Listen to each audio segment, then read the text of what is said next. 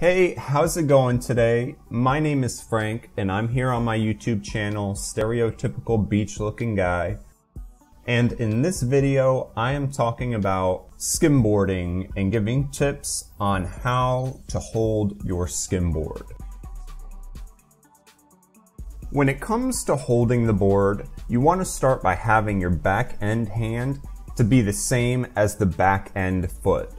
Depending on how you drop the board, you will shift the position of your hands, but here we will be referring to the back foot first one step drops. Backhand placement is just up the tail and front hand placement is right in the middle. Depending on how you run and feel comfortable, these hand placements can vary from 2 to 4 inches time to time. Using my thumbs on the top and keeping a board at a level position and steady helps overall control and feel. Believe it or not, I get asked this question quite a lot. It's a very basic thing, but it can sometimes be hard to really know what is the best way. Most importantly, you just want to make sure you are holding with the back hand same as back foot. If you hold the board with opposite hands, it requires you to have to twist your hips in order to jump on the board and often forces a front foot first drop. And you do not want a front foot first drop.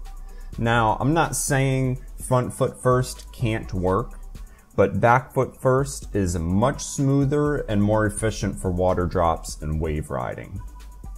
Okay, so what if I formed the habit of holding my board with opposite hands?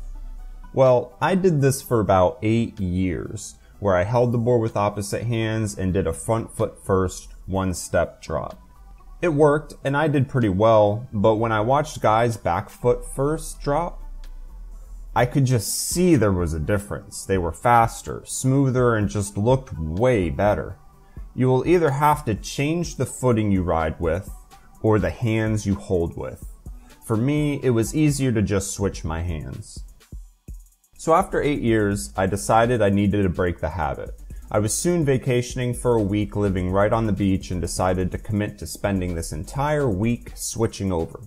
It was basically starting from scratch, relearning my drop. After two days, I really started to get more comfortable with it, and by the end of the week, I was almost running full speed doing water drops. This has been one of the most beneficial parts of my progression ever since. It's made catching waves so much easier and my drops feel so much better. I personally recommend giving it practice and switching over. It'll be annoying at first, but with practice you can only get better. I hope you guys got a better idea of how you should be holding your skimboard.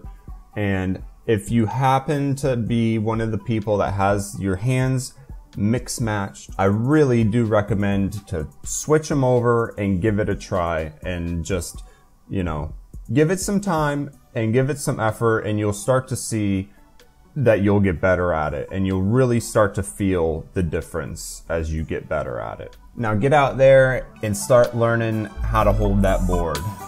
Later guys.